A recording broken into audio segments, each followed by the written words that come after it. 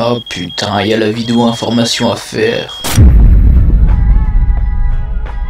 Bonjour à toutes et à tous, c'est Chuck la Crew, j'espère que vous allez bien et je vous souhaite la bienvenue sur cette vidéo de la On My Way Clan, les biatchs et je bois mon café. Je vous retrouve donc de bon matin pour vous parler des news sur Call of Duty Infinite Warfare. Ouais, le jeu que t'attends, ouais, le jeu dans l'espace et tout. Oh, c'est pas Call of Duty, ça, bah, je sais pas, mais en tout cas, on a eu des informations dessus. Et bah, j'espère qu'elles vont vous faire plaisir quand même, parce que voilà, déjà, on a la map terminale qui vient en bonus de précommande. Ouais, j'ai sorti une vidéo hier soir. Bon, peut-être que tu l'avais pas vu, que tu dormais ou quoi, mais voilà, je te le dis maintenant. La map terminale va faire son retour sur Infinite Warfare en mode remasterisé, en mode dans l'espace. Ce sera une station spatiale sur la Lune.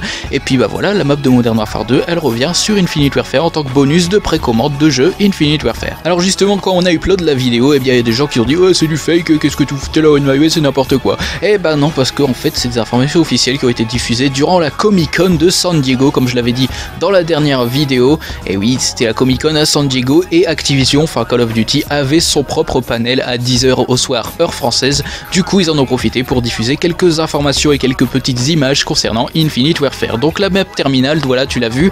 On a eu aussi quoi? Eh ben Kit Le mec qui joue Jon Snow dans Game of Thrones et qui joue aussi le méchant dans la campagne d'Infinite Warfare, bah du coup il nous a fait une petite vidéo pour présenter son rôle, pour présenter un petit peu comment il a vécu ce tournage. C'est la première fois qu'il jouait un vilain en tant qu'acteur tout simplement. Et du coup il nous affirme qu'il a apprécié jouer son rôle dans cette campagne du jeu Infinite Warfare. il nous dit aussi que Call of Duty a toujours été sa franchise de jeux vidéo favorite. En même temps, bah il joue dans le jeu, il va pas dire que c'est de la merde Call of Duty quoi. Ouais, ça semble logique. Si tu veux voir cette petite vidéo qu'il a fait, bah je te la remettrai dans la description. Dans la description, je te mettrai aussi une vidéo de présentation du UNSA Retribution, tu sais, le petit vaisseau, enfin le gros vaisseau, euh, ce qui te servira de base de vaisseau mère dans cette campagne d'Infinite Warfare. Donc, ils ont fait un assez long trailer présentant le vaisseau, voilà, en détail. Donc, je vais pas tout te traduire parce que je trouve pas ça très intéressant, quoi.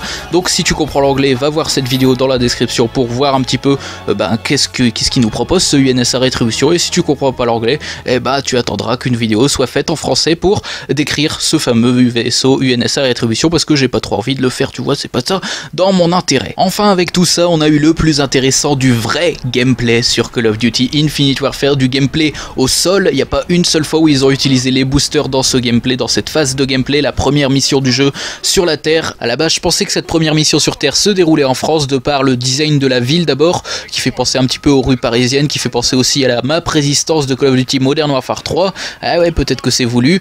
Euh, aussi, bah, parce que c'est écrit en français sur les panneaux d'affichage. Il y a aussi une meuf qui gueule un moment en français. Elle dit euh, Je veux pas mourir. Bon, et finalement, elle meurt quand même. ça fait 3 heures que la voisine elle gueule, Michel. J'en ai marre. Oh putain, je m'en vais.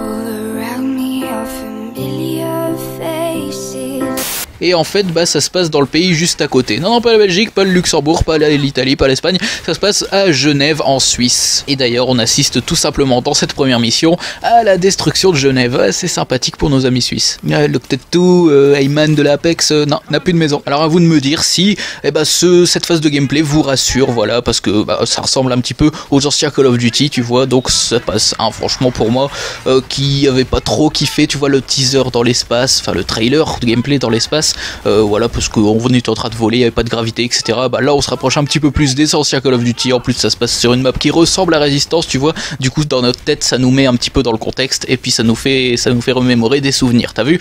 Bref, dites-moi tout ce que, ce que vous en pensez dans les commentaires. Lâchez votre like si ça vous fait plaisir et même si ça vous fait pas plaisir parce que tu es sur la On My Way, tu sors de l'asile, on le sait.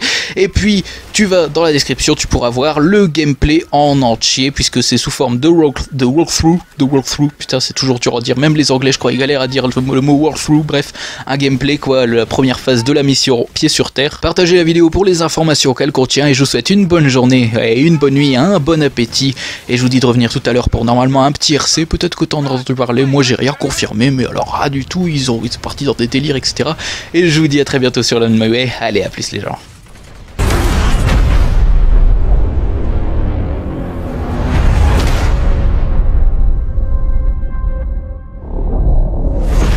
Pre-order and get the Terminal bonus map.